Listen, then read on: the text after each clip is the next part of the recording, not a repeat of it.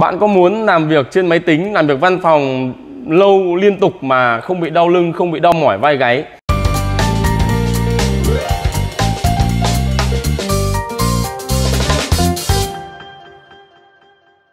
Xin chào tất cả các bạn, tôi là Chu Công Huy là một chuyên gia trong lĩnh vực phân phối sản phẩm ghế massage cao cấp chính hãng tại Việt Nam.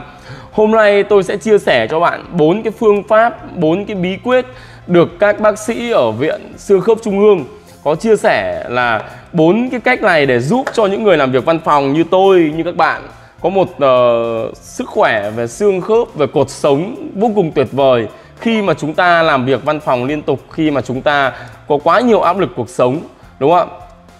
Tôi hiểu rằng hiện nay vấn nạn đau lưng ấy nó không chỉ xảy ra ở những người lao động chân tay mà ngay cả dân văn phòng cũng có nguy cơ rất cao mắc các chứng bệnh về xương khớp nhất là đau lưng. Bởi vì cái áp lực công việc nó quá lớn và chúng ta phải duy trì một cái tư thế làm việc liên tục liên tục liên tục trong một thời gian dài.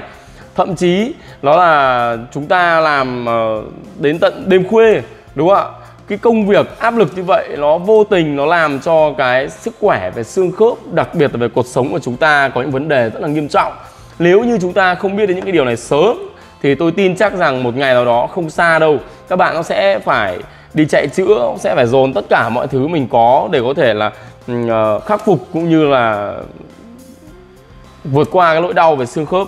Đó. Thì ngày hôm nay tôi muốn chia sẻ cho bạn bốn cái cách để có thể là ngồi làm việc ờ, trên máy tính lâu, ngồi làm việc văn phòng lâu mà không bị đau nhức xương khớp. Thứ nhất, đó là chúng ta cần phải ngồi làm việc đúng tư thế. Ngồi làm việc đúng tư thế tức là như thế nào? Cái cổ, cái đầu và cái lưng của chúng ta phải tạo một cái đường thẳng, tạo một đường thẳng vuông góc với mặt đất.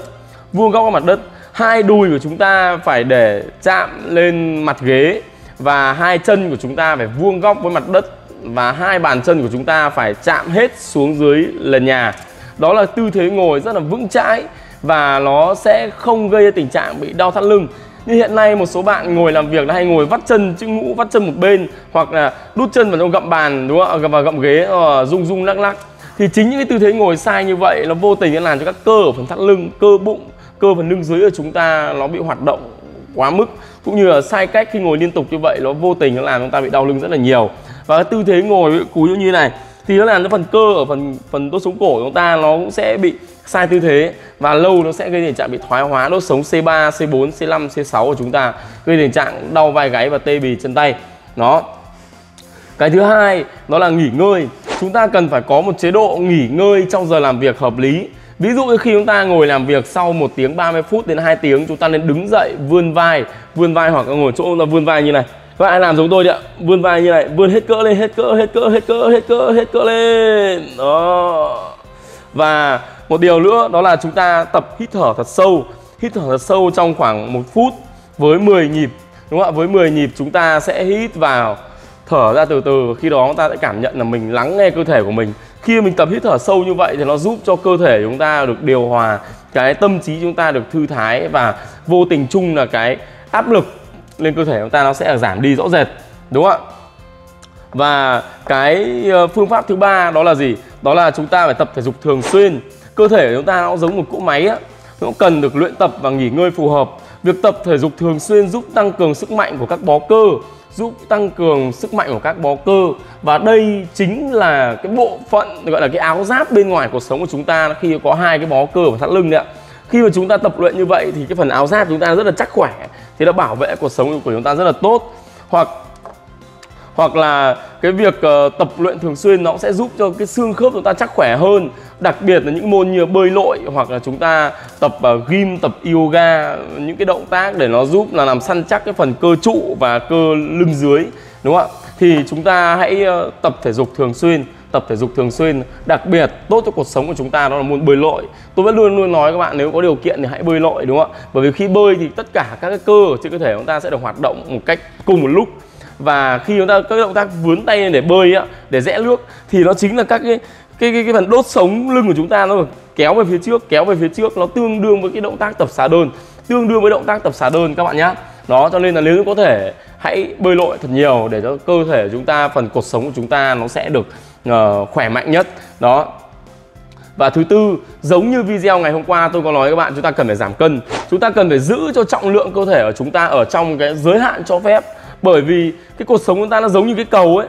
Khi mà cái cầu ấy, tải trọng nó 10 tấn mà chúng ta đi một cái xe 20 tấn 30 tấn lên có thể nó không sập cầu ngay nhưng dần dần nó sẽ gây tình trạng bị xuống cấp rất là nhanh và gây hỏng hóc gây nguy hiểm đúng không ạ? Thì cuộc sống của chúng ta cũng như vậy. Không phải không phải là uh, béo quá hay là không phải là gầy quá mà chúng ta cần phải duy trì cơ thể của chúng ta ở cái mức trọng lượng cho phép thông qua việc ta luyện tập việc chúng ta uh, cân bằng chế độ dinh dưỡng đúng không ạ? Thì có bốn cái phương pháp mà ngày hôm nay tôi muốn chia sẻ với các bạn đó là gì? Đó là ngồi làm việc đúng tư thế đúng không ạ? Đó là nghỉ ngơi hợp lý đúng không ạ? Đó là chế độ luyện tập thể dục thể thao phù hợp và đó là giữ cho cơ thể chúng ta ở trong một cái mức cân nặng cho phép. Thì nó sẽ giúp cho Ờ, chúng ta không có tình trạng bị đau lưng, đặc biệt là với dân văn phòng như mình. Mọi người ngày xưa cứ bảo là, ôi giời ôi mình làm văn phòng cái này làm sao mà đau lưng được đúng không ạ? Thì có mấy bố đi, gọi là, đi bốc vác, mấy bố làm lụng vất vả chân tay thì mới đau lưng được. Các mọi người nhầm, mọi người nhầm, hiện nay cái tỷ lệ đau lưng ở dân văn phòng chiếm gần một nửa số người đau lưng hiện nay bởi vì là chúng ta ỉ lại chúng ta lười vận động chúng ta ngồi sai tư thế. Nó là một con dao hai lưỡi giết chết cơ thể chúng ta mà các bạn cần phải lưu ý. Các bạn nhé đó nếu bạn thấy video này hay thì hãy like và chia sẻ video này để nhiều người biết hơn. Tôi tin chắc là khi bạn xem đến đoạn này video bạn rất là quan tâm đến sức khỏe của mình và quan tâm đến sức khỏe của những người uh, thân yêu của mình. Và các bạn cũng yêu quý huy rồi đúng không ạ? Thì hãy cho mình xin một lượt like và hãy chia sẻ cái video này. Hãy tang tên những người bạn của các bạn vào. Những người mà đang làm việc văn phòng, những người mà đang có nguy cơ bị đau lưng, những người mà họ sẽ vô cùng biết ơn khi mà họ biết đến những cái điều này. Các bạn nhá. Ok, xin chào bạn, tôi là chu quang huy. Bye bye.